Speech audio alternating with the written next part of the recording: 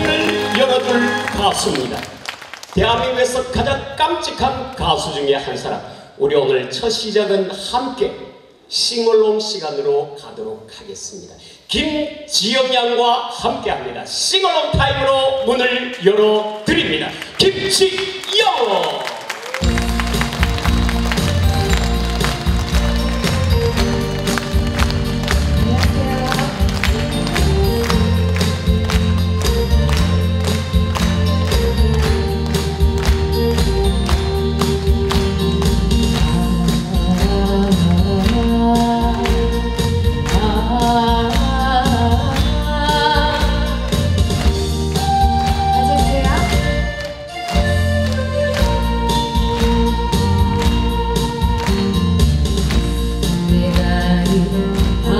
you.